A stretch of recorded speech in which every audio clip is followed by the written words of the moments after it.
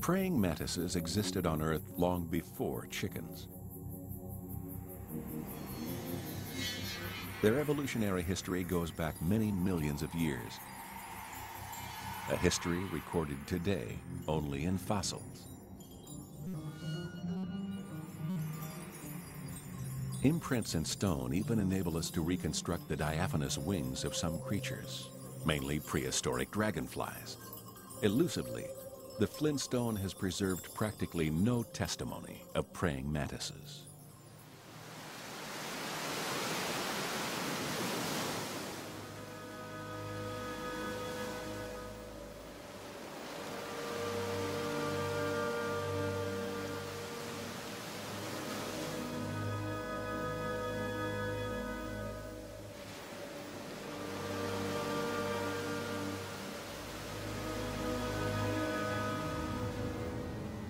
Throughout their long evolution, praying mantises never had anything to do with the sea.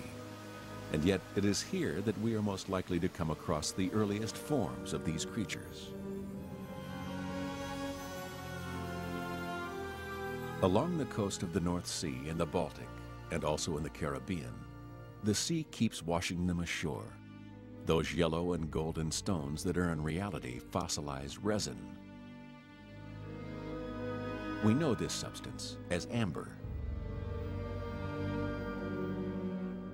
Amber, which can sometimes also be an orange-red, is unusual for its transparency,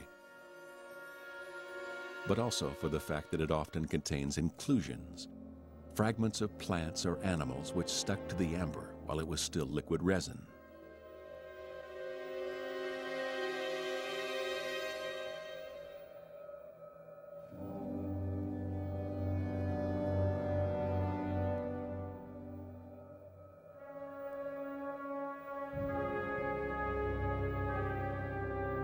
Perfectly preserved in these airtight conditions, the fossilized mantises survived for millions of years. This is how we know that the alien insect, the praying mantis, has undergone virtually no changes in the course of the last 50 million years. Only a few dozen of these amber inclusions have ever come to light.